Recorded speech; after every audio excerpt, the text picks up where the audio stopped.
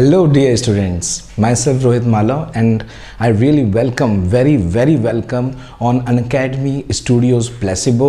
यहाँ पर मैं आपको फिज़िक्स के बहुत ही अच्छे फंडामेंटल के साथ सारा सब कुछ रिवीजन कराने वाला हूँ पढ़ाने वाला हूँ नीट और एम्स के लिए तो स्टे ट्यून राइट आज हम क्या कवर करने वाले हैं पहले वो मैं आपको बता देता हूँ दैट इज़ कूलम्स लॉ के ऊपर हम बड़े अच्छे क्वेश्चंस प्रैक्टिस करने वाले हैं ये हो सकता है कि कहीं और आपने इस तरह के क्वेश्चंस नहीं देखे हों तो स्टे ट्यून्ड और वीडियो को लाइक ज़रूर कर दें आगे और सब्सक्राइब भी कर लें और आगे तक इसको शेयर भी कर दें because it is a free education ये ऑल ओवर इंडिया में मिलना चाहिए। अन अकेडमी प्लेटफॉर्म का ठीक है I am really very thankful कि uh, वो इस तरह से ऑनलाइन एजुकेशन के थ्रू सबको प्रोवाइड कर राइट तो मैं अपने बारे में आपको कुछ बता देता हूँ। जो भी न्यू स्टूडेंट्स ने यहाँ पे ज्वाइन किया है they should know that I am Rohit Malav I belong to Kota I am a Kota faculty and I have है ना सर्टन अगर हम अपने मैं अपने बारे में बात करूँ तो टीचिंग एक्सपीरियंस मेरे पास एट ईयर्स का है।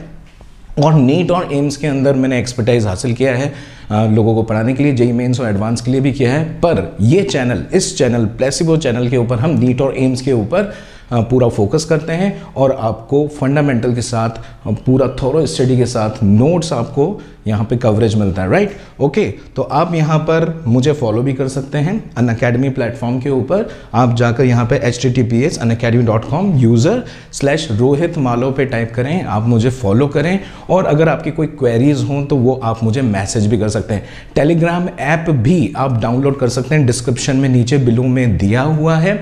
और उसके थ्रू आप हमसे कनेक्ट हो सकते हैं। Biology teacher chemistry teacher and physics teacher से आप बिल्कुल डायरेक्ट कनेक्ट हो सकते हैं right also I want to tell you to new students कि हम यहाँ पे डेली जो है एक घंटे का लेक्चर कवर करते हैं इलेवंथ क्लास और ट्वेल्थ क्लास के लिए दोनों के लिए। ठीक है? तो I will be here daily and complete physics will be covered throughout the year हम क्या करने वाले हैं? हम कंप्लीट फिजिक्स कवर करने वाले हैं for twelfth also and eleventh also तो ट्वेल्थ अगर कोई यहाँ पर देख रहा है ट्वेल्थ का बच्चा ऑब्वियसली हम ट्वेल्थ का ही सेशन यहाँ पे ले रहे हैं तो वो इलेवंथ के सेशन भी अटेंड कर सकता है और अपने जो बाकी के बच्चे कॉन्सेप्ट हैं, जो कि लास्ट ईयर के अंदर वो बोल सकते हैं ग्रैब नहीं कर पाया, वो भी ग्रैब कर सकते हैं राइट ओके सो नाउ कुछ और चीज़ मैं आपको बताना चाहूँ that is very exciting and that is Unacademy plus platform. यहाँ पर जो कवरेज होता है, वो पूरा कॉम्प्रेंसिव होता है। लेक्चर नोट्स आपको मेरे मिल जाते हैं हैंड रिटर्न्स और वन टू वन इंट्रैक्शन यहाँ पर होता है। हम प्रीवियस ईयर पेपर यहाँ पर सॉल्व करते हैं। तो ये एक डिफरेंट प्लेटफॉर्म है बच्चों। ठीक है? ये एक पेड पेड प्लेटफॉर्म है। और इस पेड प्लेटफॉर्म के बारे में अगर हम आपको और ज़्यादा जानकारी दें तो टॉप एडुकेटर्स इंडिया के यहाँ पर मौजूद हैं, जो अलग अलग सेक्शंस लेते हैं अलग अलग कोर्सेज लेते हैं। जैसे आप देख सकते हैं course on units and dimension और course on laws of motion अलग अलग टॉपिक के टीचर्स खुद पोस्ट करते हैं और आप उनसे डायरेक्ट इंटरेक्ट कर सकते हैं इंडिया के टॉप एडुकेटर से। तो Unacademy platform is like कि एक ऑनलाइन कोचिंग सा है, आपको एक कोचिंग हम प्रोवाइड करते हैं, हम ट्रेनिंग आपको प्रोवाइड कर रहे हैं and with very effective cost और अगर हम बात करें तो टॉप एडुकेटर्स एक ही जगह पे आपको मिलते हैं चॉइस ऑफ़ टीचर आपको मिलती है कि आप किस टीचर से पढ़ना चाहते हैं। अगर आपको मेरा समझ में आता है, अगर आपको लगता है कि टीचिंग स्टाइल पसंद है, आपको लगता है कि यार कॉन्सेप्ट क्लियर इन सर से में हो जाते हैं, कोई भी हो केमिस्ट्री बायोलॉजी फिजिक्स के अंदर, केवल एक सब्सक्रिप्शन आपको लेना है अन प्लस मतलब मेरी अगर कोई बात माने तो ये बहुत ही ईजी प्लेटफॉर्म है, ठीक है? सारी की सारी यहाँ पे फैसिलिटीज़ अवेलेबल भी है। तो मैं आपको इसके बारे में और डिटेल के बारे में बता देता हूँ that it's course fee is twenty five thousand but थोड़ा वेट करें ट्वेंटी फाइव थाउज़ेंड जो है, वो है ट्वेल्व मंथ का। तो ट्वेल्व मंथ यानी कि कंप्लीट ईयर हो जाता है। कंप्लीट ईयर में हम यहाँ पर कितनी बार सेशन लेने वाले हैं इंट्रैक्शन करने वाले हैं कंप्लीट कोर्स कवर होने वाला है और आप अपने हिसाब से जो टॉपिक पढ़ना चाहते हैं वो पढ़ सकते हैं और ओवरऑल सब्जेक्ट्स का, ये केवल एक सब्जेक्ट की फ़ीस नहीं है। It is not only for physics right ये कंप्लीट सब्सक्रिप्शन है अन अकेडमी प्लस का, जो कि ट्वेंटी फाइव थाउज़ेंड आपको दिख तो रहा है। लेकिन अगर आप अप्लाई करते हैं Rohit live code yes if you will apply the Rohit live code on the payment page then you will get the ten percent discount और यहाँ पे twenty two thousand five hundred हो जाता है, जो कि बहुत रीजनेबल है। अगर आप कहीं पे भी अगर ऑफलाइन कोचिंग मोड के बारे में बात करते हैं तो ऑफलाइन कोचिंग मोड तो इससे काफ़ी ज़्यादा चार्जेस करते हैं राइट तो think about it tell the parents ठीक, फिर उसके बाद हम मिलते ज़रूर हैं। तो अन अकेडमी प्लस प्लेटफॉर्म पे मैं एक साल तक पढ़ाने वाला हूँ, आप प्लीज़ ज्वाइन करें और हम इसके आगे कंटिन्यू करेंगे वन टू वन इंट्रैक्शन करेंगे, आपकी डाउट सॉल्व भी कर देंगे। नाउ मूविंग ऑन कि हमने जो लास्ट लेक्चर में पढ़ा था, अब हम पढ़ाई के बारे में बात करते हैं। अन अकेडमी की पूरी बात आपको पता लगी टेल योर पेरेंट्स नाउ हमने लास्ट लेक्चर के अंदर कूलम्स लॉ के अंदर दो एग्ज़ाम्पल प्रैक्टिस करे थे, जो तीसरा एग्ज़ाम्पल था, वो मैंने आपको होमवर्क के लिए दिया था। तो उसको भी हम वापस कवर करने वाले हैं। तो एग्ज़ाम्पल नंबर वन था ये, जिसके अंदर हमको Q1 और Q2 दे रखे थे राइट और उनके बीच में डिस्टेंस दे रखा था, जिसमें मैंने आपको बोल दिया था कि सेंटीमीटर को मीटर में कन्वर्ट करना ज़रूरी है। जो न्यू स्टूडेंट्स यहाँ पर हैं, जिन्होंने लेक्चर थ्री नहीं देखा है तो लेक्चर थ्री को ज़रूर देख लें। आप टाइप कर सकते हैं यूट्यूब के ऊपर Unacademy placebo channel okay Rohit Malav आप साथ में टाइप कर देंगे तो सारे लेक्चर्स आपको वहाँ पर मिल जाने वाले हैं मेरे राइट और इस क्वेश्चन को हमने बड़ी आसानी से देख लिया था कूलम्स लॉ है क्या एक्चुअली हमको पता है F is equals to K Q one Q two by R square right तो इसका हम अप्लाई यहाँ पर कर सकते हैं। मैग्नीट्यूड अगर पता करना है तो केवल इसका मैग्नीट्यूड ही लिखना है। ये तो पहले से ही प्लस में है। अगर ये माइनस में है तो क्या हुआ? मैग्नीट्यूड के बारे में बात कर रहे हैं तो Q1 और Q2 को प्लस साइन के साथ ही लिखा जाएगा। अगर यहाँ पर वैक्टर होता तो वैक्टर वाला भी हमने यहाँ पर एक क्वेश्चन किया हुआ है दैट इज़ दिस अगर वैक्टर होता है तो मैं क्विक रिविजन आपको करा दूँ। एक वेक्टर होता है और किसी वन नंबर ऑफ़ पार्टिकल ठीक है, बोल सकते हैं कि particle number one particle number one पे फोर्स निकालना है। किसकी वजह से? पार्टिकल नंबर टू की वजह से। तो हम इसके अंदर K Q one Q two upon R square ये तो लिखेंगे सही यहाँ पर दोस्तों Q1 और Q2 को साइन के साथ रखेंगे क्योंकि यहाँ पर वेक्टर आ गया है। तो हम साइन के साथ काम करेंगे तो हमारा आंसर बिल्कुल सही आता है और ये हो जाता है आर वन टू आगे की तरफ़। अगर हम कैप के बारे में बात करें तो कैप इस्तेमाल होता है। आर वन टू कैप ये हमको डायरेक्शन दे देता है पर्टिकुलरली लेकिन वो डायरेक्शन अगर हम ध्यान से देखें तो ये Q1 Q2 अगर प्लस माइनस साथ में मल्टीप्लाई करेंगे तो माइनस के साथ आंसर भी दे देगा। यानी कि बिल्कुल करेक्ट आंसर दे देगा। हमको अलग से और कोई फॉर्मूला लगाने की ज़रूरत नहीं है। आर वन टू कैप को भी हमने देख लिया था कि आर वन टू वैक्टर और अपॉन जो इनके बीच में दूरी है, उसके बराबर हो जाता है। तो ये दो एग्ज़ाम्पल हमने कवर करे थे। एक शॉर्ट मैंने आपको इस तरह से यहाँ पर बता दिया है कि ये आपको देख लेना चाहिए। If you have not watch the previous lecture lecture number 3 now, moving on to the third question. Third question जो है टू आइडेंटिकल कंडक्टिंग स्पीयर्स हमको मिले थे। इसमें मैंने आपको बोला था हिंट दिया था कि कंडक्टिंग है और नेग्लिजिबल रेडियस इसका मतलब कि ये क्या हो गए? पॉइंट चार्जेस हो गए राइट क्या हो गए? पॉइंट चार्जेस हो सकता है कि इनका हम नाम मान लेते हैं कि Q1 और Q2 होगा right having charges of opposite sign having charges of opposite sign ये है अगर प्लस तो ये कितना हो जाएगा? ये माइनस में हमको लेना पड़ेगा। तो ये प्लस में, ये माइनस में, या फिर ये प्लस में, ये माइनस में हम ले लेंगे। ये आपको आंसर में भी दिख रहा होगा। अगर यहाँ पर प्लस है तो यहाँ पर माइनस ले रहे हैं। अगर यहाँ पर माइनस ले सकते हैं तो यहाँ पर प्लस ले रहे हैं। ये आंसर मैंने इसलिए आपको यहाँ पर दिखाया, ये हमको लेकर आना है राइट एक टारगेट होना चाहिए मन में कि इस आंसर की तरफ़ हमको बढ़ना है। Okay attract each other obviously we know और फोर्स की वैल्यू हमको पता है कि फोर्स की वैल्यू कितनी है? 0.108 न्यूटन के बराबर। व्हेन सेपरेटेड बाय 0.5 मीटर तो उनके बीच में डिस्टेंस कितनी है? उनके बीच में डिस्टेंस है 0.5 नाउ अब कुछ नया है ना, नई कहानी। पार्ट वन तो खत्म हो गया कि भाई शुरुआत में क्या था? शुरुआत में इनके बीच में डिस्टेंस है R is equals to zero point five nice इन दोनों के बीच में फोर्स लग रहा है। अट्रैक्टिव फोर्स क्यों लग रहा है? बताओ एट्रैक्टिव फोर्स क्यों लग रहा है? एट्रैक्टिव फोर्स इसलिए लग रहा है क्योंकि एक पॉजिटिव होगा और एक नेगेटिव होगा, इसलिए हो रहा होगा। तो Q1 पॉजिटिव मान के चलेंगे और Q2 को नेगेटिव मान के चलेंगे हम राइट तो F की वैल्यू जो होगी, वो हम यहाँ पे लिख सकते हैं K Q one Q two upon R square के जैसे। जिसमें हमको एफ़ की वैल्यू दे रखी है, हमको आर की वैल्यू दे रखी है, हमको के की वैल्यू पता होती है nine into ten to the power nine हमको क्यू वन भी नहीं पता है अभी, और हमको क्यू टू भी नहीं पता है। यही हमको कैलकुलेट करना होगा, शायद देखते हैं।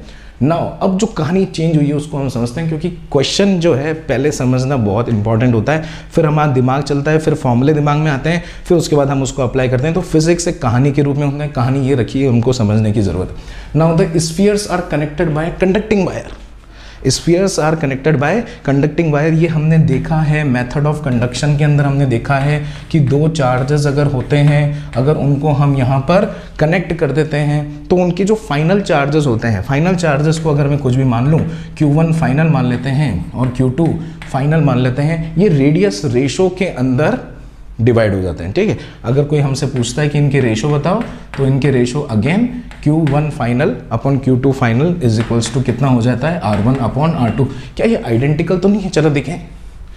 टू आइडेंटिकल अरे बात सही है। यहाँ पर हमने खोज लिया कि ये यहाँ पर आइडेंटिकल है, यानी कि दोनों की रेडियस सेम है। रेडियस सेम है तो दोनों पे चार्जेस भी वन एस टू वन में होंगे, यानी कि सेम होंगे। तो चलो मान लेते हैं एक्स है। ओके इसके ऊपर भी एक्स चार्ज हो जाएगा और इसके ऊपर भी एक्स चार्ज हो जाएगा। ये तो हम साथ में इसको लेकर चल रहे हमको सारी चीज़ें समझ में आ रही हैं। When charge stops flowing obviously जब चार्ज स्टॉप फ्लोइंग हो जाता है तो फाइनल चार्जेस हम इनको एक्स मान सकते हैं। Thereafter repel each other point to be noted क्यों रिपेल कर रहे हैं? सोचो, क्यों रिपेल कर रहे हैं? अरे, इसके ऊपर भी क्या है? एक्स है। अरे, इसके ऊपर भी क्या है? एक्स है। अगर एक्स की वैल्यू पॉजिटिव आ रही है तो दोनों पॉजिटिव है। वेरी सिंपल ठीक है? अगर एक्स की वैल्यू नेगेटिव आ जाएगी तो दोनों के दोनों नेगेटिव होंगे तो पॉजिटिव पॉजिटिव भी रिपेल करेंगे और नेगेटिव नेगेटिव भी रिपेल करेंगे तो हमको इतने बढ़िया से क्वेश्चन समझ में आ रहा है, ठीक है, कि हम इसको करने वाले हैं जस्ट नाउ अब जो फोर्स की वैल्यू है, वो फोर्स की वैल्यू चेंज हो जाती है। कहानी समझ में आ गई। कीपिंग द डिस्टेंस सेम यानी कि आपको डिस्टेंस को चेंज नहीं करना है। डिस्टेंस अगर शुरुआत में आर यानी कि 0.5 था तो बाद में भी 0.5 होगा। The initial charges on the sphere हमको निकालना है। Find out the initial charges तो आई होप कि आपने ये क्वेश्चन नोट कर लिया होगा। आई होप कि आपने यहाँ पे डेटा भी अलग से साइड में रख दिया होगा कि R is equals to zero point five होता है राइट? ओके okay, और f की वैल्यू जो हमको शुरुआत में दे रखी है वो कितनी दे रखी है? 0.108 और बाद में हमको जो f है उसको हम अगर f डैश बोल दें तो उस f डैश की वैल्यू हमको दे रखी है 0.036 न्यूटन के बराबर। चलिए इसको हम तरीके से सॉल्व करते हैं। नाउ सॉल्यूशन नंबर थ्री इसी क्वेश्चन का अगर मैं सॉल्यूशन बनाता हूँ इधर फटाफट लिख देते हैं Q1 इधर लिख देते हैं Q2 ये ध्यान रखना कि ये पॉजिटिव ले रहे हैं और ये नेगेटिव ले रहे हैं। तो Q1 Q2 क्या हो गए? न्यूमेरिकल वैल्यू हो गई। है ना? इस तरह से बोल सकते हैं। मान लेते हैं जैसे कि ये है टू और ये है थ्री लेकिन ये माइनस साइन के साथ। तो ऑब्वियसली ये टू क्यू वन के बराबर है और ये जो थ्री है, ये क्यू टू के बराबर है। अगर मैं इसको ऐड करता हूँ तो टोटल कितना होगा? बताओ। टोटल चार्ज कितना आएगा? टू माइनस थ्री आना चाहिए था। है, इसका मतलब हमने किया क्या? हमने Q1 की जगह पे टू डाला और थ्री की जगह पे Q2 डाला। तो टोटल चार्ज जो होगा वो Q1 प्लस क्यू नहीं होगा, क्योंकि हम Q1 और Q2 को एक मैग्नीट्यूड मानकर चल रहे हैं। ये भी मैग्नीट्यूड है, ये भी मैग्नीट्यूड है। अब मैग्नीट्यूड को साइन के साथ लोगे, तभी तो हम वहाँ पर टोटल कर पाएँगे राइट तो ये चीज़ हमको समझ में आ गई है कि इनिशियल टोटल चार्ज जो है वो Q1 प्लस क्यू नहीं लेना होगा। इस केस में अगर हम Q1 और Q2 को मैग्नीट्यूड लेकर चल रहे हैं suppose Q1 one is equals to two Q two is equals to three it is a negatively charge particle तो ऑब्वियसली इनका जो सम होगा वो टू प्लस थ्री तो नहीं होगा टू माइनस थ्री होगा, इसलिए हम Q one minus Q two लेकर चल रहे हैं। तो this is the initial charge अब मैंने आपको फाइनल चार्ज बता दिया था कि फाइनल चार्ज हम ये मान लेते हैं कि इसके ऊपर भी x चार्ज है और इसके ऊपर भी x चार्ज है राइट ठीक? अब इसके बीच में डिस्टेंस तो चेंज करनी नहीं है ये भी हमको पता है। ओके okay, इस केस में जो हमारी फोर्स की वैल्यू आई थी इस केस में जो फोर्स की वैल्यू आई थी वो आई थी 0.108 राइट न्यूटन में। इस केस के अंदर अगर हम x और x के बारे में बात करें तो यहाँ पर जो टोटल चार्ज है वो टोटल चार्ज कितना हो जाएगा? 2x राइट और ये जो 2x है, ये इसके बराबर होना चाहिए बाय चार्ज कंजर्वेशन ये प्रॉपर्टी यहाँ पर इस्तेमाल हो रही है by charge conservation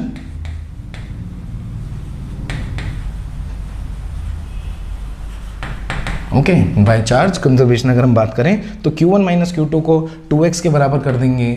Q1 one minus को 2x के बराबर कर देंगे। अब मैं उधर x लिख दूँ 2 नीचे ले आऊँ। ओके तो x की वैल्यू कितनी हो जाने वाली है? Q1 one minus Q two by two के बराबर हो जाएगी। तो ये हमको फाइनल चार्ज दोनों के ऊपर Q1 और Q2 के टर्म्स में मिल गए। हमको ये चीज़ भी पता है कि यहाँ पर जो नया फोर्स था, वो नया फोर्स हमने मीडियम तो चेंज किया नहीं है। मीडियम के बारे में कोई बात नहीं की गई है।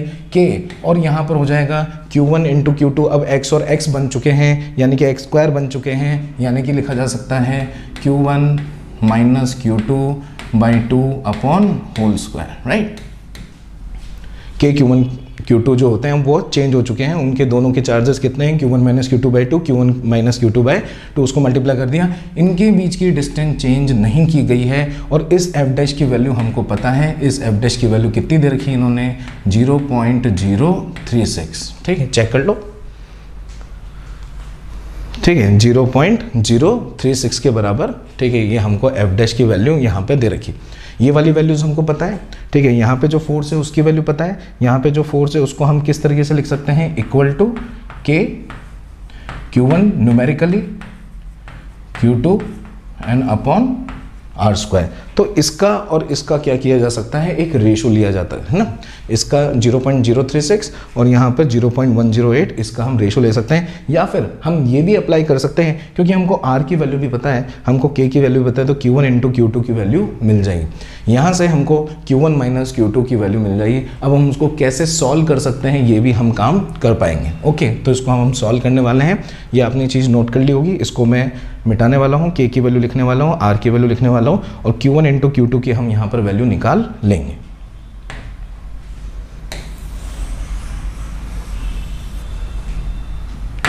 राइट right, तो ये हो जाएगा हमारा 0.108 point one zero eight is equals to nine into ten to the power nine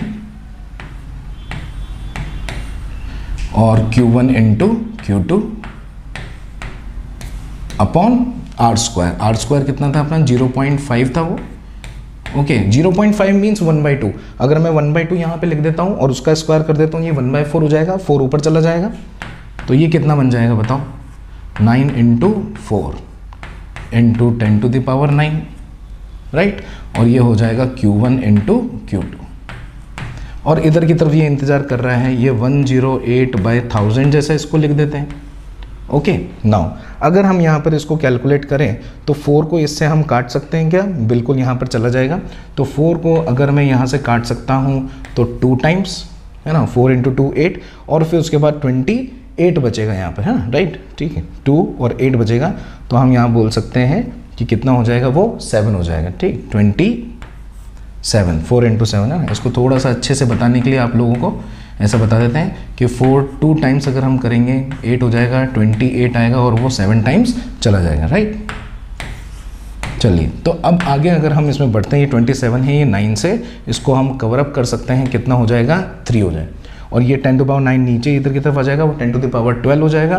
तो Q one into Q two की वैल्यू हम बोल सकते हैं three into ten to the power minus twelve जैसा होना चाहिए। ये हमको क्यू वन और क्यू टू यानी कि उन दोनों की वैल्यू का मल्टीप्लिकेशन वैल्यू मिल गया। यहाँ पर हम जो कैलकुलेशन करने वाले हैं, ये आपका यहाँ पर है zero point zero three six is equals to k की वैल्यू कितनी हो जाएगी? Nine into ten to the power nine again यहाँ पर हम ज़ीरो पॉइंट फाइव का क्या करने वाले हैं? होल स्क्वायर जो कि वन बाय टू का होल स्क्वायर फोर ऊपर चला जाने वाला है और इधर की तरफ़ अगर मैं इसको Q1 one minus q two by two का होल स्क्वायर ही लिख लूँ तो इसको इसी तरह से रहने देते हैं। तो ये कैलकुलेशन मैं आपके सामने करना चाह रहा हूँ कि कैलकुलेशन भी इसमें बहुत ज़्यादा टफ नहीं है। जिस तरह से हमने यहाँ पर मल्टीप्लाई कर लिया, उसी तरह से यहाँ पर चीज़ें मल्टीप्लाई कर लेंगे। आपको कैलकुलेशन भी करना आना चाहिए माइंडेड तो ये ऊपर चला जाएगा। तो कितना हो जाएगा बताओ?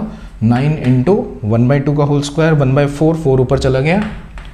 Into ten to the power nine और Q1 one minus q two by two का होल स्क्वायर और इधर हम इसको लिख सकते हैं 36 सिक्स बाई थाउज़ेंड राइट अब ये 9 इंटू फोर जो होता है वो 36 होता है। 36 से हमने 36 को कैंसिल आउट कर दिया। 10 टू दावर नाइन को नीचे लाएँगे 10 टू पावर ट्वेल्व हो जाएगा। 10 टू पावर ट्वेल्व को ऊपर ले जाएँगे तो वो हो जाएगा 10 to the power minus twelve is equals to q one minus q two upon two का होल स्क्वायर दोनों तरफ़ अंडर रूट लेने पर टेन टू माइनस ट्वेल्व बन जाएगा टेन टू माइनस सिक्स और q one minus q two by two free हो जाएगा। अब क्या होता है कि जब हम दोनों तरफ़ अंडर रूट लेते हैं तो प्लस माइनस साथ में आता है। लेकिन हम उसको अभी अवॉइड कर लें और बाद में कॉमन सेंस लगा लें कि भाई, एक का नाम आपने रखा था क्यू वन और एक का नाम क्या रखा था आपने क्यू टू सिंपल सी बात है। अब Q1 अगर आ गया यूनिट वन के बराबर तो वो वन ये भी तो हो सकता था। सिंपल सी बात है, ठीक है? क्यू वन इंटू क्यू का मल्टीप्लीकेशन थ्री होना चाहिए। तो अगर एक वन है तो दूसरा थ्री हो सकता है, या ये थ्री हो सकता है, वो वन हो सकता है, ठीक है? बेसिकली हमको ये चीज़ ध्यान में रखनी होगी। इसमें दोनों में अंडर रूट हम ले लेते हैं, ठीक और इन दोनों में अंडर रूट लेने के बाद ये हो जाएगा ten to the power minus twelve is equals to q one minus q two और अपॉन टू ठीक है? तो Q1 one minus q upon two और ये टू इधर चला जाएगा। टेन टू माइनस ट्वेल्व की जगह पे sorry ten to minus six करना था यहाँ पर। तो हमको पता लग गया कि Q1 वन माइनस क्यू किसके बराबर है? Two into ten to the power minus six के बराबर। अब तो आपको ये चीज़ समझ में आ ही गई होगी, ठीक है, कि Q1 one into q two three into ten to power minus twelve और Q1 one minus q two two into ten to minus six आने के बाद हम ये ऑब्वियसली लिख सकते हैं कि अगर ये बन जाए कितना? Three into ten to the power minus six और ये बन जाए कितना? One into ten to the power minus six तो इन दोनों को अगर हम माइनस कर देंगे तो two into ten to minus six हो जाएगा। क्योंकि आपको ये तो पता ही है कि नीट में, ठीक है, या एम्स के अंदर ऑब्जेक्टिव अप्रोच भी लगानी होती है तो इनको देखकर ही हमको समझ में आता है। हमको कोई क्वाड्रेटिक बनाने की एज सच यहाँ पर रिक्वायरमेंट नहीं है। वरना हम इसको क्वाड्रेटिक से भी सॉल्व कर सकते हैं। वो जो अजीब सा मेथड है क्वाड्रेटिक वाला, वो भी चलो मैं आपको बता देता हूँ, क्योंकि मुझे पूरा ज्ञान देना है आप लोगों को, ठीक है कंप्लीट इसके अंदर हम ये देख सकते हैं कि टू कैसे आ सकता है? थ्री माइनस वन टू हो सकता है राइट ओके और थ्री इंटू वन भी थ्री बन जाएगा तो कंप्लीट है। और टेन के पावर माइनस ट्वेल्व क्यों आ रहा है, ये भी हम समझ पा रहे हैं, क्योंकि यहाँ पे टेन के पावर माइनस सिक्स और यहाँ पर भी टेन के पावर माइनस सिक्स अगर होगा, उनको मल्टीप्लाई करेंगे तो टेन के पावर माइनस ट्वेल्व बन जाएगा। Yes we have got the answer congratulation कि यहाँ पर एक तो होगा वन यूनिट वाला और एक होगा थ्री यूनिट वाला। एक को हम अगर पॉजिटिव बोलते हैं तो दूसरा नेगेटिव हो जाएगा। ठीक है? और अगर अगर ये नेगेटिव होगा तो ये पॉजिटिव हो जाएगा। इस पर हम पहुँच चुके हैं। लेकिन फिर भी अगर पूरा पूरा थ्योरेटिकल अगर किसी को सॉल्व करना है तो मैं आपको इतना बता देता हूँ थोड़ा सा मैथ्स के बारे में आपको बता देता हूँ कि अगर हमको क्या क्या चीज़ें पता हैं, ठीक है, अगर मुझे कभी भी a इंटू बी कभी भी मुझे a इंटू बी की कोई वैल्यू पता है, ठीक है, मान लेते हैं कि कोई x वैल्यू मुझे पता है, कभी भी मुझे a माइनस बी की कोई y वैल्यू पता है तो you can find out a and b both दोनों निकाल सकते हैं और उसका इजी तरीका सबसे, या तो आप क्या बना लें, इसके अंदर क्वाड्रेटिक बना लें, या फिर थोड़ा सा मैथ अप्लाई कर लें, a प्लस बी का होल स्क्वायर क्या होता है? ठीक है a square plus b square plus two a b ठीक है, पर मुझे ए प्लस बी तो पता ही नहीं है। तो ए प्लस बी के होल स्क्वायर में से अगर मैं कुछ माइनस कर लूँ, ठीक है a प्लस बी के होल स्क्वायर में से अगर मैं कुछ माइनस कर लेता हूँ माइनस फोर ए बी कर देते हैं तो टू ए बी में से जब फोर ए बी माइनस करेंगे तो वो बन जाएगा a square plus b square minus two a b and you already know कि ये कितना हो जाता है ए माइनस बी का होल स्क्वायर अब मुझे आप देख सकते हैं कि ए इंटू बी भी पता है एक्स के बराबर ए माइनस बी भी पता है, ठीक है? किसके, y के बराबर तो मेरे को a प्लस बी की वैल्यू मिल जाएगी। अगर मुझे a प्लस बी की वैल्यू मिल जाती है सपोज़ जेड वैल्यू मिल जाती है। इनको जैसे ही ऐड करोगे, मज़ा आ जाएगा। ये बी से बी कैंसिल हो जाएगा। यहाँ पर हो जाएगा टू ए और ये हो जाएगा वाई प्लस जेड और अपॉन टू ये ए की वैल्यू जो आएगी वो y plus z by two हो जाएगी। उसी तरह से फिर हम b की वैल्यू भी निकाल सकते हैं। किसी भी इक्वेशन के अंदर इवन इस इक्वेशन में भी आप a की वैल्यू डाल देंगे तो b की वैल्यू आपको मिल जाने वाली है। ऐसा क्यों करना है? अगर हमको डायरेक्ट दिखाई दे रहा है अगर हमको डायरेक्ट दिखाई दे रहा है कि अगर वन इंटू थ्री करेंगे तो थ्री आएगा और थ्री में से वन या वन में से थ्री माइनस करेंगे तो हमको टू यूनिट्स मिल जाएँगे जो कि हमारा आ भी रहा था q one into q two three times आ रहा था राइट ओके और q one minus q two two times of ten to the power minus six आ रहा था. तो इस तरह से सॉल्यूशन हो गया। आई होप कि आपको ये चीज़ पूरी समझ में आ गई है। सॉल्यूशन अगर आपने नोट नहीं किया है, आप बाद में जाके फिर से नोट कर सकते हैं। हमारी पेस थोड़ी मीडियम ही रहेगी। ना तो बहुत ज़्यादा तेज़ रहने वाली है, ना ही बहुत ज़्यादा धीरे रहने वाली है। तो इसका आप ध्यान रखें। अगर आप अपने पास कॉपी रखते हैं, अपने पास अन की एक नोटबुक बनाते हैं, उसके ऊपर हेडिंग डाल देते हैं फिजिक्स बाय रोहित मालव और अलग अलग लेक्चर्स में अच्छी अच्छी चीज़ें नोट करते चलते हैं आपको वापस रिवाइज करने की ऐसे रिक्वायरमेंट नहीं होगी। आपको प्रैक्टिस अगर करनी है तो बहुत अच्छे से प्रैक्टिस क्विजेज के साथ टेस्ट सीरीज़ के साथ अन अकेडमी प्लस पे ही हो सकती है। तो प्लीज़ सब्सक्राइब और अपने दोस्तों को भी बोलो। It is like free education है ना? अगर कंपैरिजन कंपैरिजन करेंगे ना तो तीन लाख जहाँ पर आ, किसी कोचिंग को हमको देने पड़ते हैं इलेवंथ और ट्वेल्थ की यहाँ पर केवल ट्वेंटी थाउज़ेंड थर्टी थाउज़ेंड के अंदर ही हमारा यहाँ पर काम हो रहा है। ठीक है? तो ये बहुत अच्छी बात भी होती है and it is like gift to you by Unacademy and by me also ten percent discount आपको मिल ही रहा है रोहित लाइव कोर्स से। चलिए अब चलते हैं, वापस से पढ़ाई पर आते हैं। ठीक है, और क्वेश्चन नंबर फोर की तरफ़ बढ़ते हैं। क्योंकि मैं आज के लेक्चर में जो क्वेश्चन लेने वाला हूँ, वो ना तो बहुत ज़्यादा टफ है, ना बहुत ज़्यादा ईजी है। ये माइंड डेवलप करने वाले क्वेश्चन है, इससे आपके कॉन्सेप्ट भी क्लियर होंगे, कहीं और नहीं मिलेंगे गारंटी है। ठीक है? तो टू स्मॉल स्फीयर्स अगेन फिर से स्मॉल क्यों बोला है? हम समझ गए हैं कि कूलम्स लॉ तो तभी लगता है जब स्मॉल स्फीयर्स होते हैं, जब पॉइंट चार्जेस होते हैं। हर किसी का मास दे दिया very good zero point one gram है। ठीक है? हम लोगों के साथ खेल रहे हैं ये लोग। 0.1 point one into ten to the power minus three k g लिखना पड़ेगा, जब लिखना पड़ेगा। इन सब चीज़ों का ध्यान रख लिया ना तो वही नंबर आपके बढ़ने चालू हो जाएँगे। Carrying the same charge okay ten to the power minus nine coulomb उनको same charge suspended by threads of equal length okay from the same point यार, ये गजब है। दो अलग अलग आपके थ्रेड्स हैं, दो अलग अलग रस्सियाँ हैं जिससे उनको कनेक्ट कर रखा है, उनको बोल सकते हैं कि अटैच किया हुआ है और सस्पेंड किया हुआ है, ठीक है? सस्पेंड किया हुआ है, इसका मतलब कि हम बोल सकते हैं कुछ ऐसी पिक्चर हमारे दिमाग में आनी चाहिए, एक ही पॉइंट से इधर की तरफ़, एक ही पॉइंट से इधर की तरफ़, यहाँ पर और यहाँ पर इस तरह से ये कोई चार्जेस होंगे।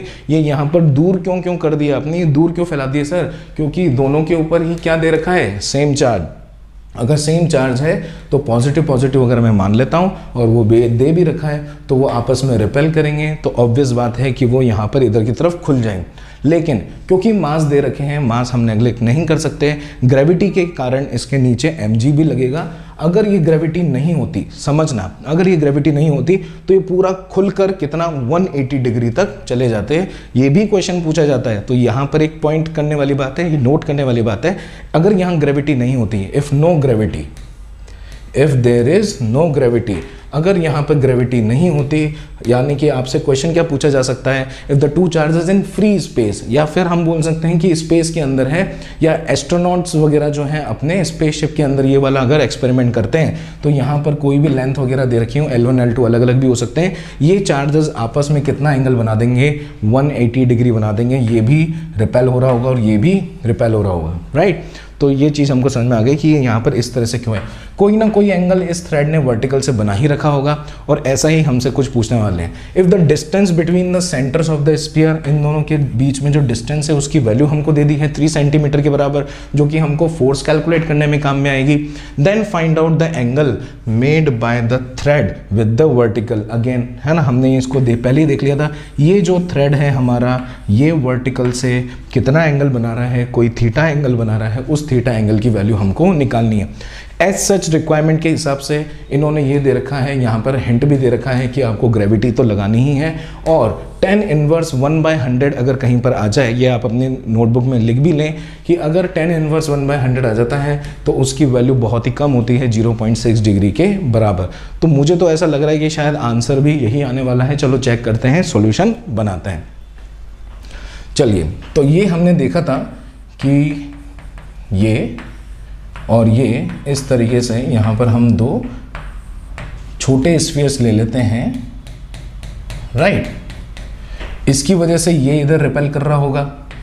कितना फोर्स लग रहा होगा? एफ़ फोर्स हम मान लेते हैं। ये इसके ऊपर, इधर की तरफ़ एफ़ फोर्स लगा रहा होगा और ये एफ़ इलेक्ट्रिक फोर्स है। It is given by k q one q two by r square सबको पता है। इन दोनों के बीच में जो दूरी है, वो आर की वैल्यू हमको थ्री सेंटीमीटर दे रखी है। इधर लिख लेते हैं। R is equals to three centimetre right अगर मैं वर्टिकल से बात करूँ तो ये एंगल थीटा बनेगा तो बाई सिमेट्री ये एंगल भी थीटा बनेगा। यानी कि हमको एक ही पार्टिकल पर सॉल्व करने की ज़रूरत है।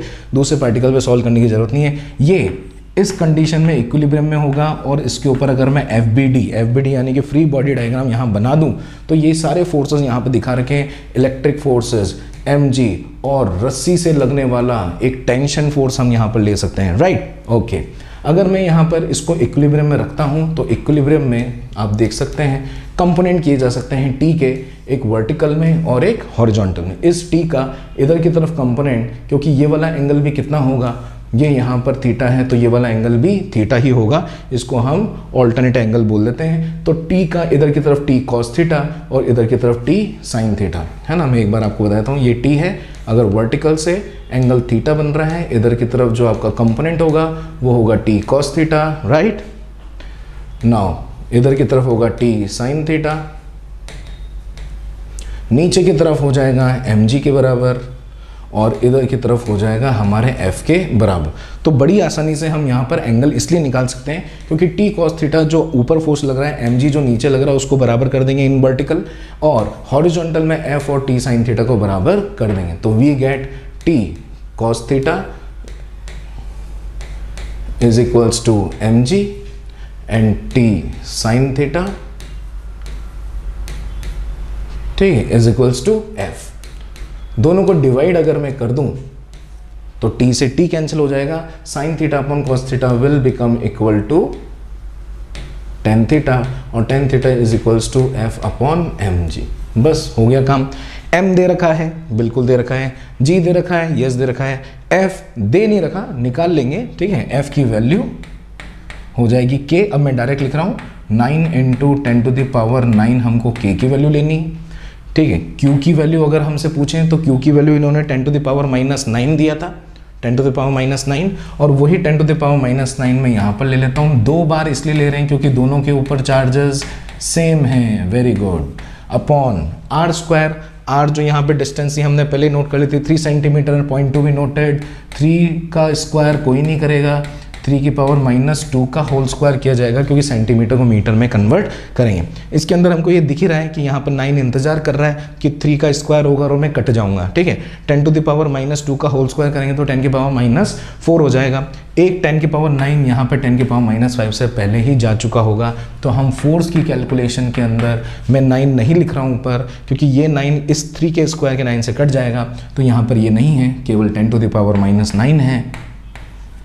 Upon ten to the power minus four right तो इसकी जो वैल्यू आ जाएगी, वो आ जाएगी कितनी? टेन की पावर माइनस फाइव न्यूटन तो हमने एफ़ की वैल्यू निकाल ली। अभी हमको एम जी की वैल्यू भी निकालनी बाकी है, तभी हमको टेन थीटा मिलेगा। ठीक है, ये आपको नोट कर लेना चाहिए कि इधर थीटा थीटा सिमेट्री क्यों है। ठीक है, क्योंकि यहाँ पर इधर फोर्स इधर फोर्स सेम है। नीचे की तरफ़ इसमें एम जी होगा, इसमें भी नीचे की तरफ़ सॉरी इसमें भी नीचे की तरफ़ सेम ही एमजी होगा बाई सिमेट्री राइट चलिए। नाउ अगर हम इसमें आगे बढ़ें तो m की वैल्यू इन्होंने दे रखी थी हमको ग्राम के अंदर 0.1 ग्राम ठीक? और 0.1 ग्राम को हम 0.1 point one into ten to the power minus three लिख देते हैं फटाफट से, और ये हो जाएगा 10 के पावर माइनस फोर राइट है ना? 0.1 को। और g की वैल्यू इन्होंने हमको दे रखी है 10 के बराबर। अगर मैं टेन थीटा की वैल्यू निकालता हूँ तो टेन थीटा की वैल्यू हो जाती है f upon m g f की वैल्यू f की वैल्यू है 10 की पावर माइनस फाइव और एम जी को अगर मैं मल्टीप्लाई करता हूँ तो वो कितना हो जाता है? 10 की पावर माइनस फोर को। 10 की पावर वन से मल्टीप्लाई करेंगे तो टेन की पावर माइनस थ्री कट गया। 10 की पावर माइनस टू हो गया, यानी कि वन बाय हंड्रेड हो गया। अब मैं आपको बताता हूँ कि ये tan inverse and tan inverse में क्या बातें करते रहते हैं ये लोग। ठीक है? टेन इनवर्स में जो ये बातें करते हैं ना, वो किस तरह से बात करते हैं, उसको हम समझ लेते हैं। अगर मैं आपको बोल दूँ कि टेन फोर्टी फाइव डिग्री निकालो तो तुरंत निकाल दोगे। बल्कि मैं आपको ये बोलूँ कि टेन थीटा वन के बराबर है तो आप तुरंत बता दोगे, सर, यहाँ पे थीटा कितना है? 45 डिग्री है, क्योंकि ये हमको बता रखा होता है। अगर मैं आपको बोल दूँ कि टेन थीटा की वैल्यू कितनी है रूट थ्री है तो आप तुरंत उछल कर बोल दोगे कि भाई थीटा की वैल्यू क्या है सर थीटा की वैल्यू तो 60 डिग्री है। अगर मैं आपको बोल दूँ टेन थीटा की वैल्यू टू है तो फिर आप उछल कर कुछ नहीं बोल सकते, क्योंकि हमको ये ज़िंदगी में सिखाया नहीं है कि टेन थीटा अगर टू होता है तो थीटा की वैल्यू कितनी होती है। तो ये मैथ्स वाले लोग क्या करते हैं, इसको थीटा को रिप्रेजेंट करने के लिए ये टेन इनवर्स टू करके लिख देते हैं। हालाँकि आप थीटा की वैल्यू बता नहीं पाओगे कि कितनी डिग्री वगैरह में है एग्जैक्टली exactly. लेकिन उनको आंसर चिपकाने में काम आएगा कि भाई टेन इनवर्स टू जो है, ये आंसर है, हमारा ऑप्शन ढूँढने के मिल जाएगा टिक कर देंगे। यहाँ पर हमको क्या दे रखा है कि टेन थीटा की वैल्यू है हंड्रेड ठीक है। हमको टेन थीटा की वैल्यू कितनी दे रखी है? हंड्रेड दे रखी है। टेन थीटा की value hundred one by hundred sorry ठीक है? वन बाय हंड्रेड और अगर मैं थीटा को लिखता हूँ तो थीटा कितना हो जाएगा? टेन इनवर्स ऑफ़ जो भी अंदर होगा, जैसे इसमें टू था, वैसे टू अंदर चला गया तो वन बाय हंड्रेड अधिकतर लोगों को देखो पता होता है, लेकिन मैं ये मान के चलता हूँ कि हमारे साथ में रिवीजन हो रहा है, हम साथ में कुछ समय बिता रहे हैं, चीज़ें वापस से रिवाइज हो रही है। Tan inverse one by hundred यहाँ पर इसकी वैल्यू देखो, इन्होंने पहले दे रखी थी। Tan inverse one by hundred is zero point six degree इसलिए हमारा फाइनल आंसर हो जाएगा ज़ीरो पॉइंट सिक्स डिग्री के बराबर। Right right? नाउ आ जाए पाँचवें क्वेश्चन पर। हो गया था फोर्थ क्वेश्चन अपना कवर ठीक है? फोर्थ ऑप्शन में हमको कोई फोर्थ क्वेश्चन के अंदर दिक्कत नहीं आई थी। क्वेश्चन नंबर फाइव पर्टिकुलरली मुझे बहुत अच्छा लगता है। इससे हमारे बोल सकते हैं सेंसेस हमारा इंटेलिजेंस भी थोड़ा सा इंप्रूव होगा। हम तो कुछ अप्लाई करेंगे कुछ मज़ा आने वाला है क्वेश्चन नंबर फाइव के अंदर। कहानी क्या है वो देख लेते हैं okay the distance between the two fixed positive charges है ना? फिक्स्ड पे अंडरलाइन कर देनी चाहिए। मैं आपको क्वेश्चन को करने का तरीका भी साथ में बता रहा हूँ ये आपको पता लग ही रहा होगा कि हम जब इसके अंदर uh, पढ़ते हैं लाइनों को तो हमको वो इंपॉर्टेंट चीज़ें लिख लेनी चाहिए, ठीक है, वो अंडरलाइन कर लेनी चाहिए। जब हम अटैम्प्ट करते हैं, उससे क्या होता है, हमारे टाइम कम लगता है हमको क्वेश्चन करने में। अभी तो मैं आपको समझा रहा हूँ, इसलिए थोड़ा सा टाइम कंज्यूमिंग होता है समझाने में। समझने में टाइम थोड़ा कम लगता है। तो जैसे मैं पढ़ता हूँ the distance between the two fixed positive charges तो मेरे को पता लगता है फिक्स्ड है, मेरे को पता लगता है कि वो पॉजिटिव चार्जेस हैं, ठीक है, और ठीक है, वो है, एक है फोर ई e और एक ई e के बराबर और उनके बीच में जो डिस्टेंस है वो किसके बराबर दे रखी है? अगर आपको ढंग से नहीं दिख रहा है तो वो एल के बराबर है। How should a third charge है ना? एक तीसरा चार्ज कहानी में आने वाला है, दो चार्ज तो फिक्स है, तीसरा आने वाला है वेरी गुड उसकी वैल्यू हम क्या मान के चलते हैं, क्यों मान के चलते हैं? हो सकता है कि ये क्यू को ही निकालना चाहते हो क्यू क्या, कितना है? Be arrange for it to be it का मतलब यहाँ पे क्या हो गया? ये खुद. ये खुद किसमें होना चाहिए? ये खुद होना चाहिए इक्विलिब्रियम में होना चाहिए। इस तरह से हमको लिखना है। तो under what condition will equilibrium of the charge q be stable equilibrium तीन तरीके होते हैं। स्टेबल इक्विलिब्रियम होता है। अनस्टेबल इक्विलिब्रियम होता है और न्यूट्रल इक्विलिब्रियम भी होता है। उसके भी मैं ग्लिम्सेज आपको बता दूँगा, क्योंकि हमको पूरी जानकारी चाहिए। भाई, यहाँ इसलिए यहाँ पर आए हैं अपन, ठीक है? यूट्यूब पे पढ़ने आए इसका मतलब जानकारी पूरी चाहिए सिंपल सी बात है। यूट्यूब पे कितने इंटरटेनमेंट वाली चीज़ें लेकिन हमको एक साल, दो साल इन सब चीज़ों को अवॉइड करना है। फिर उसके बाद वापस से वही ज़िंदगी में आ जाएँगे ओके सो ये प्रॉमिस करो खुद से, मुझसे, कि हमको एडुकेशन में पहले अच्छा करना है, ठीक है? Be Virat Kohli of education right right? मैंने अपनी ज़िंदगी में उस टाइम पे तो सचिन तेंदुलकर बहुत अच्छा से खेलता था। ठीक है? तो सचिन तेंदुलकर तो मैं सोचता था कि सचिन तेंदुलकर जैसा बन जाए। कैसे बन जाए? हमको क्रिकेट जो है उस लेवल का आता ही नहीं है। बचपन से उस लेवल का क्रिकेट हमने खेला ही नहीं है। तो हम सचिन तेंदुलकर कैसे बन सकते हैं? हम अपने लाइफ के सचिन तेंदुलकर बन सकते हैं, जो हमारा फ़ील्ड है, जो एडुकेशन फ़ील्ड है, उसके अंदर हम इतना अच्छा काम कर सकते हैं जैसे वो अच्छा काम कर रहा है। तो यही चीज़ एक इंस्पिरेशन वाली बात होती है दोस्तों। ठीक है? उसी तरह से बी लाइक विराट कोहली और यू लाइक रोहित शर्मा, ठीक है? रोहित मालव, मैं हूँ, मैं तो पढ़ाता हूँ। रोहित शर्मा जो है क्रिकेट खेलता है, लेकिन वो बहुत अच्छा खेल रहा है मतलब आप अप्रिशिएट करते हो तो आपके नंबर भी ऐसे आने चाहिए, आपको भी ऐसे एफर्ट मारने चाहिए कि लोग आपको अप्रिशिएट करें। ठीक है, गली मोहल्ले के अंदर जब आपका सिलेक्शन हो जाए तो लड्डू बटे, ठीक है? ऐसी कुछ चीज़ें हमारी होनी चाहिए। उससे पहले एक फोकस्ड प्लान होना चाहिए दैट दिस टीचर रोहित मालो ये मेरे को एक सही डायरेक्शन में ले जाने वाला है, ये मेरे को सारे कंटेंट्स भी देने वाला है, सारी चीज़ें समझाने वाला भी है। तो आप तरीके से समझ रहे हैं वेरी गुड ठीक है आई अप्रिशिएट कि आप यहाँ पर अभी तक बने हुए हैं और इस वीडियो को देख रहे हैं। तो under what condition will equilibrium of the charge q है ना? इक्विलिब्रियम जो है उसका आएगा स्टेबल आएगा, या for displacement of the line joining four e and e ठीक है? जो डिस्प्लेसमेंट उसका होगा, ठीक है, उसको हम यहाँ पर चेक करके ये बता सकते हैं, ठीक है वो स्टेबल है या नहीं। विल इट बी अनस्टेबल अगर वो यहाँ पर अनस्टेबल है या स्टेबल है, कब अनस्टेबल स्टेबल हो सकता है तो उसके नेचर पे डिपेंड करता है, ऐसा हम देखने वाले हैं। तो आंसर जो कुछ है, वो हमको यहाँ पर पहले ही दिख रहा है कि अगर हम 4e से कितना distance 2l L by three पे उसको रख देंगे और q को क्या रखेंगे? अगर पॉजिटिव रखेंगे तो फिर वो होगा स्टेबल अगर q को रखेंगे हम नेगेटिव तो वो क्या हो जाएगा? अनस्टेबल तो सर, ऐसा आंसर कैसे लाने वाले हैं? बिल्कुल आप स्टे ट्यून्ड रहें और ध्यान से देखें।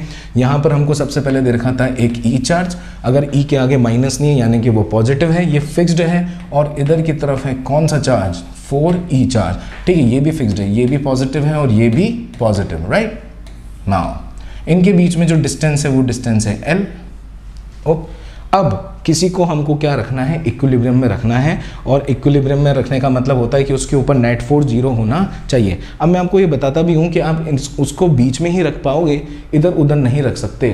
फॉर एग्ज़ाम्पल अगर कोई यहाँ पर रीजन्स बनाना चाहे तो हम इस तरह से बोल सकते हैं कि इस प्लस ई के लेफ़्ट हैंड साइड वाले रीजन इस फोर ई के राइट हैंड साइड वाले रीजन में कोई पॉइंट है ए पॉइंट इनके बीच में कोई बी पॉइंट है और इनके इधर की तरफ़ कोई सी पॉइंट है। मैं अभी आपको ये प्रूव कर दूँगा कि ए पॉइंट पर वो चार्ज इक्विलिब्रियम में हो ही नहीं सकता।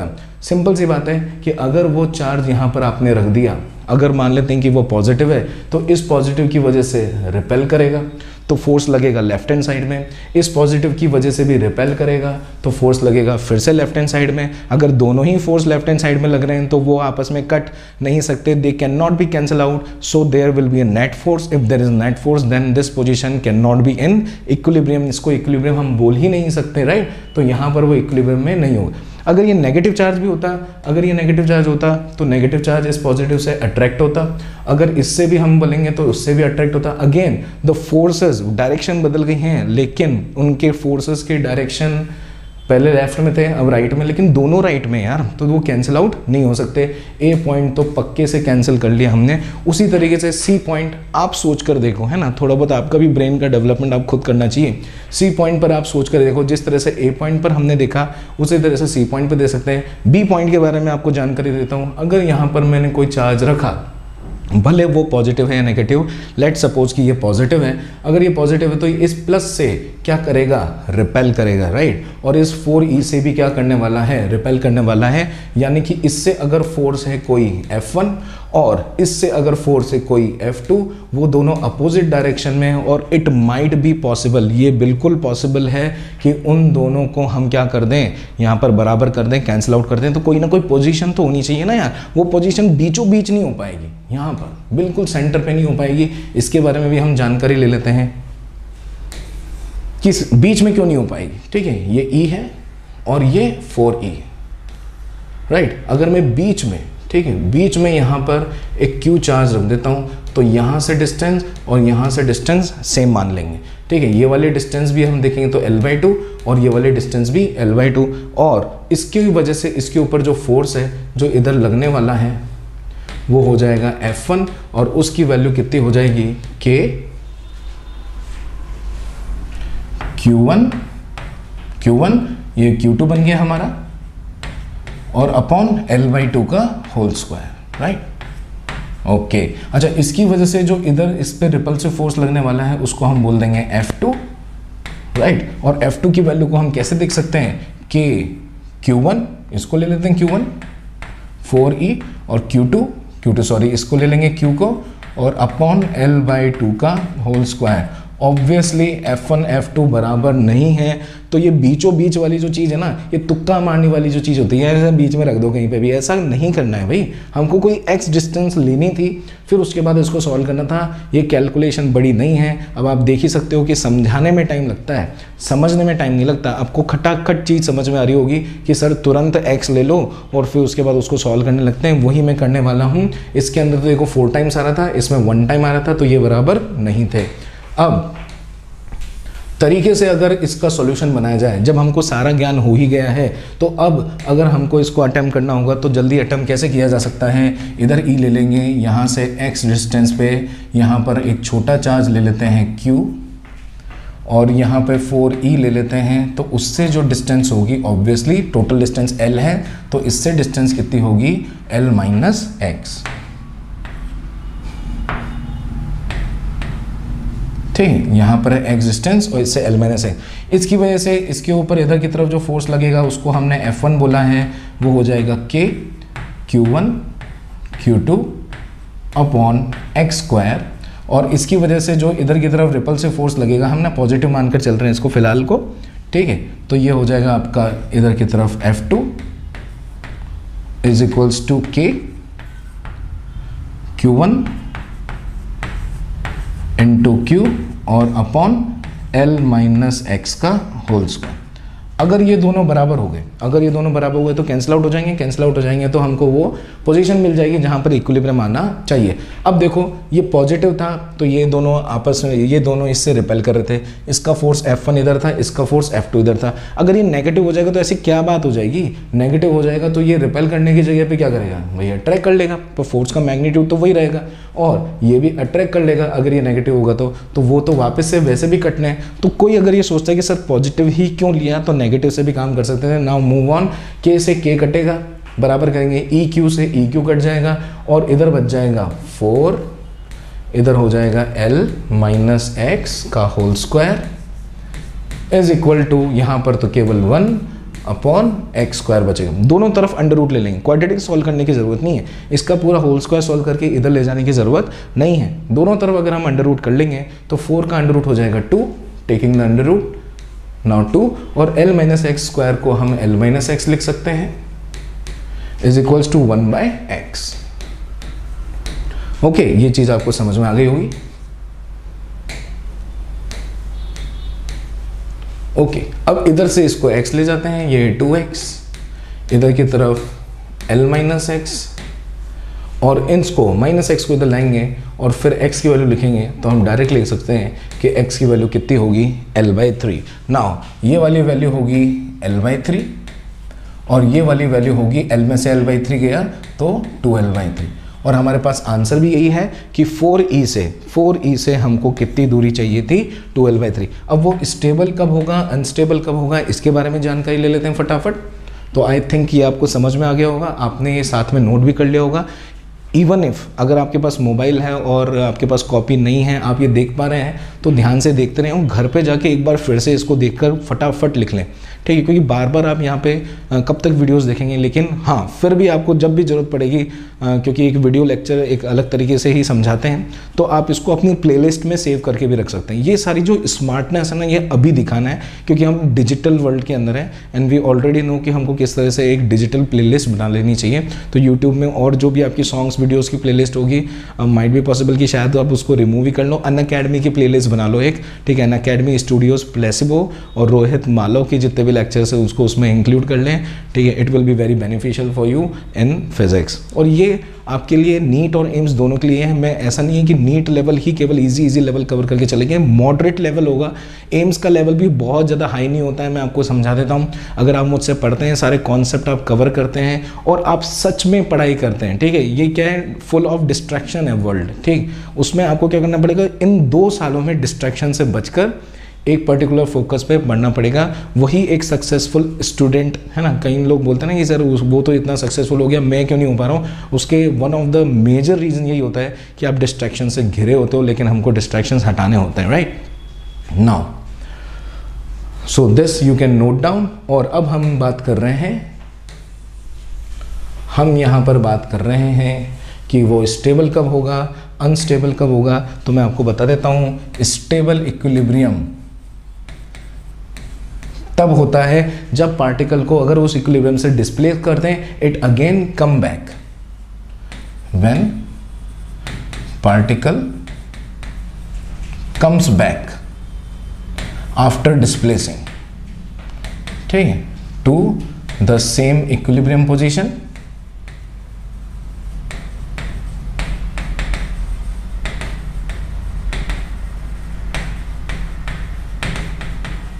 okay when particle comes back to the same equilibrium position after displacing after displacing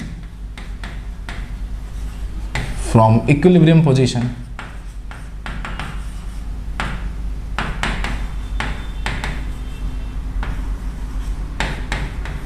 right right. ये मैं आपको फटाफट प्रूव करके बताता हूँ कि अगर वो पॉजिटिव होगा तो ऐसा क्यों होगा? देखो, इधर भी चार्ज पॉजिटिव था, इधर भी चार्ज पॉजिटिव था, और अगर मैं बीच में, बीचों बीच नहीं है, हमको पता है एल बाई थ्री है, इधर से टू एल बाई थ्री है, अगर इनकी लाइन के बीच में मैं कहना चाह रहा था, अगर मैं यहाँ पे कोई चार्ज लेता हूँ, और ये अपने इक्विलिब्रियम में है, इसको अगर मैं इधर डिस्प्लेस करूँगा तो इससे एक स्ट्रॉन्ग रिपल्जन होगा, क्योंकि उनके बीच में दूरी कम हो चुकी है। जैसी दूरी यहाँ पर ज़्यादा थी यहाँ पर ज़्यादा दूरी थी, यहाँ पर भी दूरी थी। ठीक है, इसका जो फोर्स इधर की तरफ़ लग रहा था F1 और इसकी वजह से जो इधर की तरफ़ लग रहा था F2 वो कैंसिल आउट हो रहा था। लेकिन जैसे ही अगर मैं इसको इधर डिस्प्लेस करता हूँ, ये अपनी एक नई पोजीशन पर आ जाता है। यहाँ पर ये चार्जेस अभी भी फिक्स हैं। तो इससे जो फोर्स लग रहा था, मान लेते हैं कि F2 फोर्स लग रहा था, वो अब F2 नहीं लगेगा F2 से ज़्यादा लगेगा ऑब्वियसली ठीक है, ये चीज़ आपको समझ में आ गई है? यस सर बोल दो। Okay okay. ठीक है तो ये वाली जो बात होती है ना, ठीक है, यहाँ से लेकर यहाँ तक ये वाली डिस्टेंस कम हो गई है तो ये F2 बढ़ गया तो इसको ऑब्वियसली इधर धकेल देगी यानी कि ये अपनी इक्विलिब्रियम पोजीशन पे वापस जाने की कोशिश करेगा। ये ये जो है, ये भी एक रिपल्सिव फोर्स लगाएगा, लेकिन ये उतना बड़ा रिपल्सिव फोर्स नहीं लगाएगा। ये वाला जो पॉइंट है, ठीक है, ये वाला पॉइंट इस वाली दूरी से तो ज़्यादा है है ना? अगर ये वाली दूरी आपकी ज़्यादा है तो सिंपल सी बात है, ये जो इसके ऊपर फोर्स लगाने वाला है, वो उतना तो नहीं लगाएगा जैसे यहाँ पर मान लेते हैं कि कोई F1 है तो यहाँ पर ये कोई F1 डैश वाला फोर्स लगा देगा, जो कि थोड़ा सा कम होगा। यानी कि नेट फोर्स किधर आने वाला है, ये इसको यहाँ पर इधर की तरफ़ धकेलने वाला है। इसको बहुत आसानी से इस तरह से समझ सकते हैं। माइंड मत करना। मान लेते हैं कि ये एक बॉय है और मान लेते हैं कि ये एक बॉय है और ये भी बॉय है। ठीक है? और ये यहाँ पर रुका हुआ था। इन दोनों को अच्छा लग रहा था कि यार यहीं पर रुका होना चाहिए। फालतू में क्या है? हमको परेशान नहीं करे। ठीक है? लेकिन अब ये परेशान करने लग गया। अब इधर की तरफ़ अगर हम बात करें कि यहाँ पर जो वो था, वो इधर आ गया। तो सिंपल सी बात है कि अगर वो यहाँ पर आ गया तो ये जो है ना, ये उसको बिल्कुल पसंद नहीं करेगा, ये उसके भयंकर अच्छा वाला एक थप्पड़ टिका देगा और ये वापस से उधर की तरफ़ ही जाए। लेकिन अगर ये इधर की तरफ़ गया तो इसको भी पसंद नहीं आने वाला, क्योंकि ये भी क्या है बॉय बॉय बॉय ही है। ये इधर की तरफ़ ज़्यादा चिपकने की कोशिश करेगा, उसको वापस से धकेल दिया जाएगा। इधर की तरफ़ जाना चाहेगा तो फिर से उसको धकेल दिया जाएगा। इसका मतलब कि बेटा, तुम अपने इक्विलिब्रियम पोजिशन पर बने रहो। अरे, बने रहो भाई, इधर उधर आने की क्या ज़रूरत है? लेकिन अगर ये नेगेटिव हो गया, ठीक है तो ये स्टेबल हुआ नहीं हुआ, ये बताओ। बिल्कुल स्टेबल हुआ, क्योंकि अभी अभी हमने देखा स्टेबल क्या है, जब particle again come back to the same equilibrium position उसको वापस धकेल दिया जाएगा तो ये हो गया स्टेबल अगर हम बात करें किसकी अनस्टेबल के बारे में। ठीक है तो अनस्टेबल के अंदर और स्टेबल के अंदर बस इतना सा फ़र्क है कि वहाँ पर था हमारा अगेन कम बैक और इसके अंदर है it will go far away ठीक है, वो उस इक्विलिब्रियम पोजीशन से दूर चला जाता है तो आप लैंग्वेज अपनी तरफ़ से लिखना और लिख लेना when particle goes far away चलो पूरा लिखवा ही देते हैं। ठीक है when particle goes far away from equilibrium position nice वो फार अवे चला जाता है इक्विलिब्रियम पोजीशन से तो कैसे हो सकता है? इधर देखते थे इधर था पॉजिटिव इधर था पॉजिटिव और अगर बीच में मैंने ले लिया क्या? नेगेटिव क्योंकि वो पॉजिटिव नेगेटिव दो, दोनों हो सकता था ये हमने चीज़ देख ली थी। अगर ये नेगेटिव होगा अगेन बॉय बॉय गर्ल अगर गर्ल इधर की तरफ़ जाएगी तो सिंपल सी बात है। अट्रैक्शन नाइस तो इधर की तरफ़ ही डिस्प्लेस हो जाने वाली है क्योंकि ये इसका एक स्ट्रॉन्ग बोल सकते हैं अट्रैक्टिव फोर्स यहाँ पर लगने वाला है। अगर ये इधर चली जाएगी ऑब्वियसली ये एक स्ट्रॉन्ग अट्रैक्टिव फोर्स लगाएगा, इधर की तरफ़ ये मूवमेंट हो जाएगा।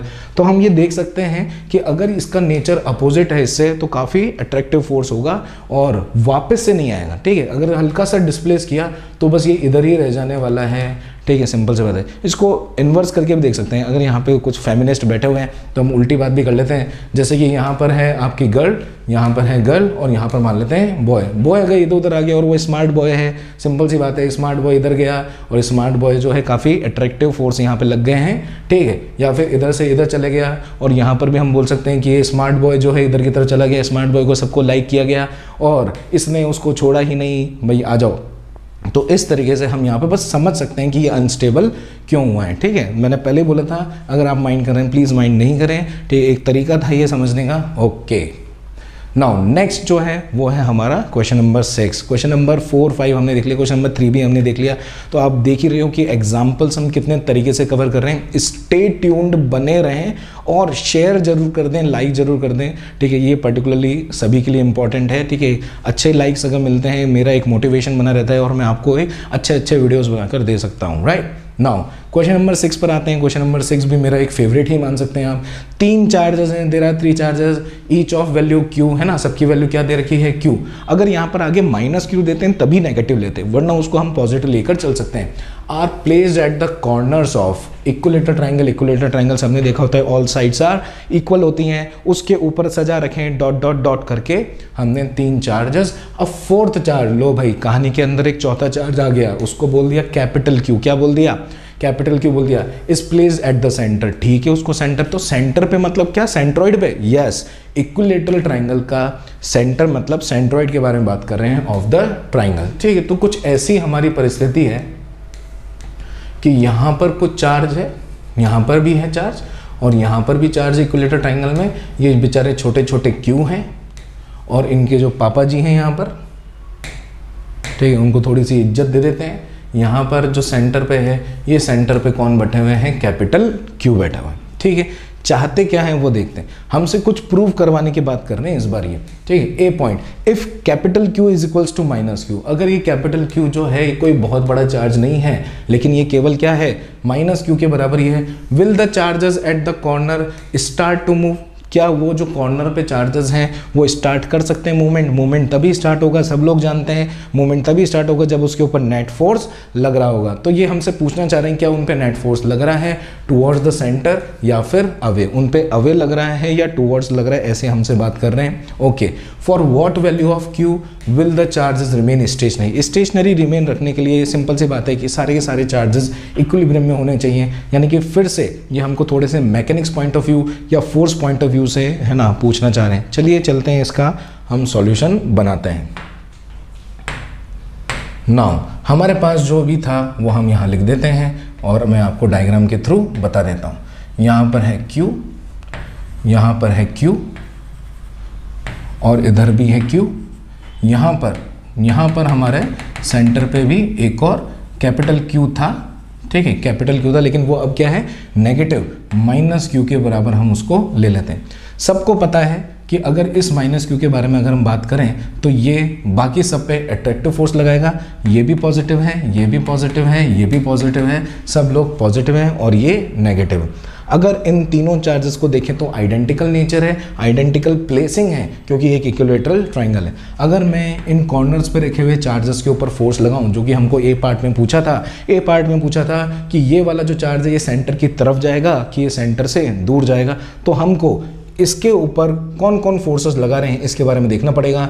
ये पॉजिटिव इसको रिपेल करने वाला है, ये पॉजिटिव भी इसको रिपेल करने वाला है और ये जो नेगेटिव चार्ज है, ये इसको अट्रैक्ट करने वाला है। एंगल्स भी हमको पता है, जैसे पर्टिकुलरली ये एंगल कितना है 60 डिग्री अगर इस फोर्स के बारे में बात करूँ, इसका फोर्स अगर इधर की तरफ़ मैं लगा दूँ और उसका मैग्नीट्यूड क्या ले लूँ? उसका मैग्नीट्यूड ले लूँ मैं एफ़ क्योंकि यहाँ से लेकर यहाँ तक की कोई डिस्टेंस मान लेते हैं कोई ए डिस्टेंस तो यहाँ से लेकर यहाँ तक भी कितनी होगी? ए डिस्टेंस तो ये इन दोनों के ऊपर भी nature of charges q one q two same है, इनके भी nature of charges q one q two same है, दोनों में डिस्टेंस भी सेम है। तो इसकी वजह से इसके ऊपर जो इधर की तरफ़ फोर्स लग जाएगा, उसका मैग्नीट्यूड भी क्या लिया जा सकता है?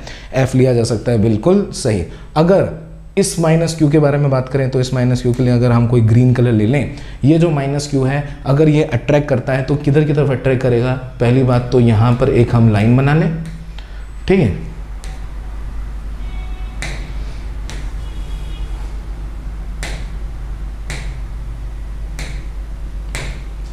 तो ये जो अट्रैक्टिव फोर्स यहाँ पर लगा रहा होगा, वो अट्रैक्टिव फोर्स वो अट्रैक्टिव फोर्स हम इस तरह से बता देंगे, ठीक है? इन दोनों का कोई ना कोई रिजल्टेंट आने वाला है, ठीक है? इन दोनों का रिजल्टेंट भी, ठीक है, हम बोल सकते हैं कि कोई ना कोई तो आएगा ही सही, उसको हम अभी वेक्टर्स के अंदर कंपोनेंट करके तोड़ लेंगे।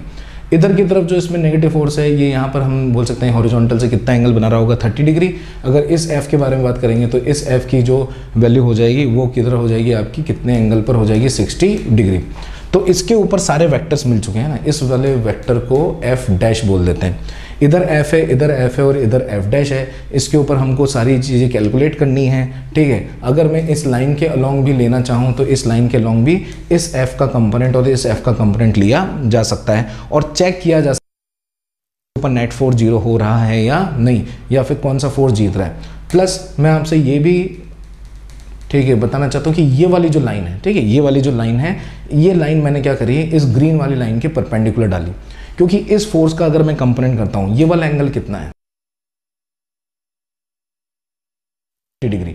इस फोर्स का अगर मैं कंपोनेंट करता हूँ तो वो एफ़ कॉस 30 डिग्री हो जाएगा। अगर इधर की तरफ़ आ रहा है, इस एफ़ का कंपोनेंट एफ़ कॉस 30 डिग्री तो इसका भी, इस वाले एफ़ का भी, इधर की तरफ़ जो 30 डिग्री बन रहा है, उसकी वजह से एक और फोर्स आएगा, वो भी होगा कितना?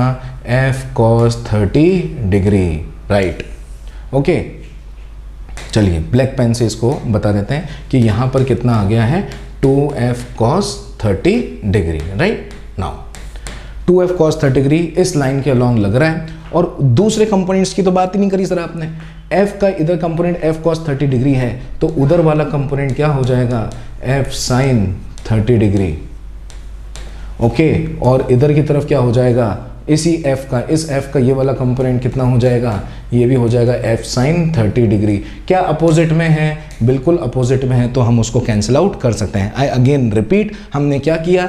इस चार्ज की वजह से, इस चार्ज के ऊपर एफ़ फोर्स इस चार्ज की वजह से इस चार्ज के ऊपर भी एफ़ फोर्स लेकिन इस माइनस क्यू की वजह से हमको कोई नया फोर्स लेना पड़ेगा और उसको हम एफ़ डैश लेंगे। अभी तक हमने एफ़ डैश के बारे में बात नहीं करी है। लेकिन हमारा ये दिमाग चला कि अगर लाइन यही होने वाली है, अगर इस लाइन के अलोंग ही हम सारा सॉल्व कर लेते हैं तो इस वाले एफ़ का एक कंपोनेंट लिया जा सकता है। इस वाले एफ़ का भी एक कंपोनेंट लिया जा सकता है। दोनों कंपोनेंट सेम डायरेक्शन में आ रहे हैं। इसलिए उसको हम two F cos thirty degree ले रहे हैं। इसका इधर वाला component F sine thirty degree और इसका इधर वाला component F sine thirty degree आपस में कैंसिल आउट हो जाएँगे नाइस अब मेरे पास जो बचा है, वो बचा है कि इधर की तरफ़ टेढ़ा, इधर की तरफ़ आ रहा है two F cos thirty degree right और इधर की तरफ़ आ रही है वैल्यू एफ़ डैश नाइस ये हमको समझ में एफ़ डैश की वैल्यू हम कैलकुलेट कर लेंगे एफ़ की वैल्यू कैलकुलेट कर लेंगे और ये देख लेंगे कि कौन सा फोर्स इनमें से ज़्यादा है। ये चीज़ आपको नोट कर लेनी चाहिए। इसमें बड़ी आसानी से इधर से एफ़ इधर से f हम देख रहे हैं। इन दो f का हम इधर की तरफ़ कंपोनेंट लिए हैं। F cos 30 degree f cos 30 degree two F cos 30 degree इसका ये वाला कंपोनेंट तो जुड़ गए, लेकिन ये वाला और ये वाला कंपोनेंट कट गए ओके और इसके ऊपर जो माइनस क्यू फोर्स लगा रहा है इधर की तरफ़, उसको हमने एक नया नाम दे दिया दैट इज़ f डैश तो इधर की तरफ़ है f डैश ऐसा और इधर की तरफ़ है two F cos thirty degree, इनमें से कौन बड़ा है, ये हमको कैलकुलेट करना है। चलो, करें कैलकुलेट ओके.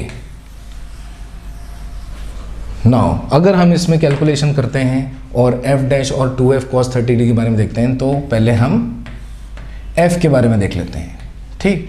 यहाँ पर था क्यू यहाँ पर था क्यू यहाँ पर थी दूरी, हमने ए मान ली थी। इसकी वजह से इधर की तरफ़ जो हमारा एफ़ आ रहा था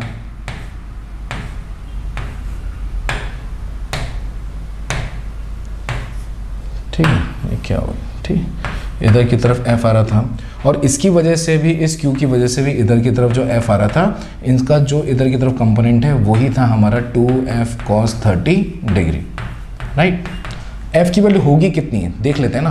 क्यू और क्यू में ए डिस्टेंस है तो एफ़ की वैल्यू हो जाएगी k q one q two by r square simple ठीक है, ये एफ़ की वैल्यू मिल गई, ये यहाँ पे डाली जा सकती है तो ये हो जाएगा two k q square by a upon cos thirty degree value बता दें रूट थ्री बाई टू तो टू से टू कैंसिल यानी कि ये कितना हो गया?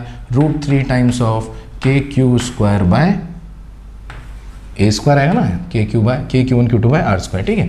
और यहाँ पर हो जाएगा ए स्क्वायर ये आ गया हमारा। तो ये हमारे एक टर्म ये प्रिपेयर हो गई। ये एफ़ डैश के बारे में बात कर लेते हैं यार एफ़ डैश जो है थोड़ा सा, ठीक है? ये डिस्टेंस विस्टेंस हमको दे नहीं रखी है। तो ये डिस्टेंस हमको कैलकुलेट करनी पड़ेगी। ये कैलकुलेट आप घर पे जाके करके देखो। ये जो है डिस्टेंस ये ए बाय रूट थ्री आ जाती है। ठीक है? ये जो है ए बाय रूट थ्री आ जाती है, ये वाली डिस्टेंस ठीक है? कैसे आई होगी? कैसे आई होगी? एक ट्राइंगल बना लेना। यहाँ से लेकर यहाँ तक ये वाली डिस्टेंस कितनी हो जाएगी? ए बाई टू ठीक है? सिंपल सी बात है। अगर मैं वहाँ से ऊपर से अगर एक ऑल्टीट्यूड डालता हूँ तो वो इसको मीडियन में सेम तरीके से बिहेव करता है क्योंकि इक्वलेटर ट्राइंगल है। अब ये एंगल कितना है? ये एंगल कितना है? आधा एंगल है ना? कितना है? थर्टी डिग्री कैलकुलेट कर लेना फिर। ये ए बाई टू है तो ये वाली वैल्यू कितनी हो जाएगी? ए बाई रूट थ्री तो हम एफ़ डैश की वैल्यू देख सकते हैं। एफ़ डैश की वैल्यू हो जाएगी के इधर भी क्यू बैठा हुआ है, इधर भी क्यू बैठा हुआ है। तो k q one q two upon ठीक है? माइनस क्यू नहीं लिखना है। यही तो बात है। यही गलती कर देते हैं लोग। ठीक है माइनस क्यों नहीं लिखना है? क्योंकि वेक्टर्स के हिसाब से सॉल्व नहीं कर रहे हैं। अभी हम मैग्नीट्यूड देख रहे हैं। वेक्टर्स के हिसाब से अगर सॉल्व करना होता तो ऊपर वेक्टर लिखता मैं। F vector i cap j cap k cap ऐसे काम करते, पर ऐसे कोई काम नहीं कर रहे हैं राइट तो हम सिंपल सी बात कर रहे हैं कि k q one q two by ये जो दूरी है, ये जो दूरी है, कितनी है?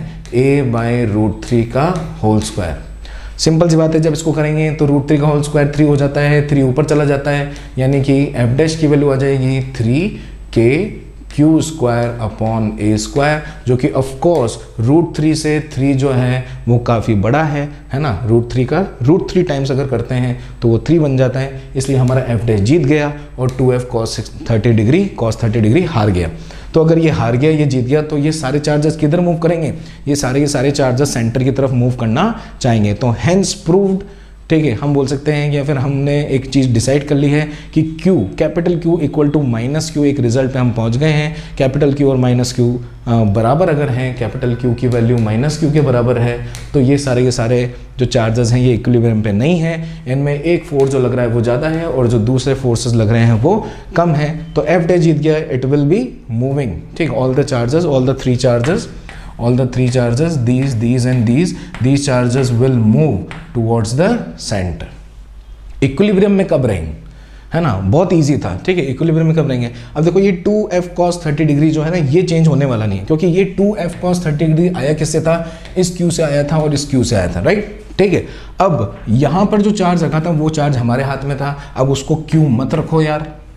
ठीक है, उसको कैपिटल क्यू रख लो और कैपिटल क्यू के हिसाब से हम उसको सॉल्व कर सकते हैं। तो आप देख सकते हैं कि जो हमने एफ़ डैश की वैल्यू निकाली थी, वो निकाली थी के क्यू और क्यू तो इसमें एक क्यू जो है, वो हम कैपिटल क्यू से रिप्लेस कर सकते हैं। इसके बारे में जानकारी ले लेते हैं, जो कि बी पार्ट है, ठीक है? अब हम बी पार्ट के लिए सॉल्व कर रहे हैं।